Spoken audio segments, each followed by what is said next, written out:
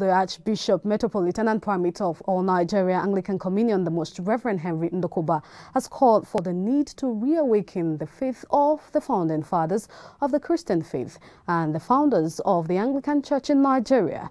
He made this call in the premiership address as he charged the teeming clergy of the Communion gathered at St. Paul's Anglican Church, Diobu, Port Harcourt for the 2021 All-Anglican Clergy Conference with the theme Effective Anglican Ministry in the 21st Century. Our fathers has laid a foundation of faith on the power in the living God.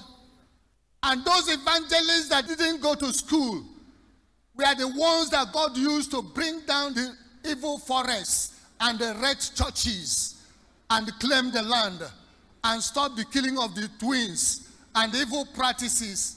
But what is it that is happening in our time? Brethren, it is time to rise. And I'm believing God that this is a moment that is special to God.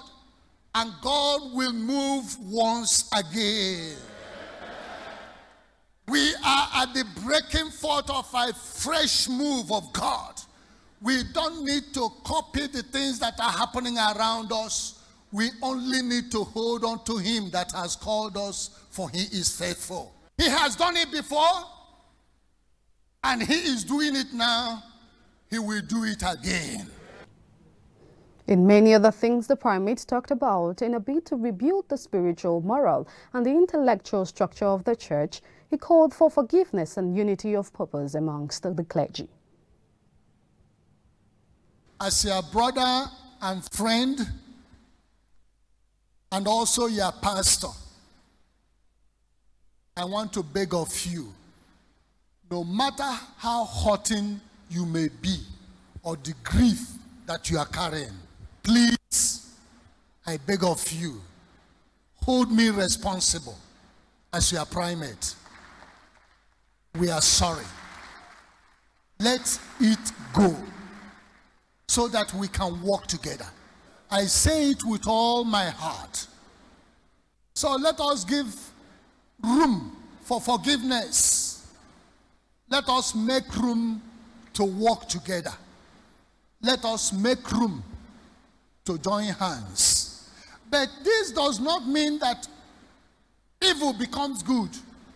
We are not going to sacrifice any soul or any congregation or any diocese or any province in order to appease a priest or a bishop or an archbishop.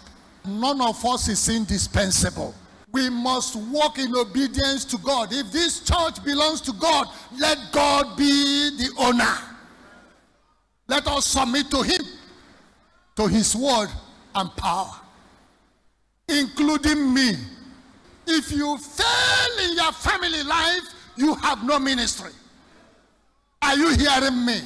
No matter how fiery you may be, if you fell in relationship with your wife and honor her and encourage her and be there for her, if you fell in nurturing and ministering to your children, you are worse than an infidel.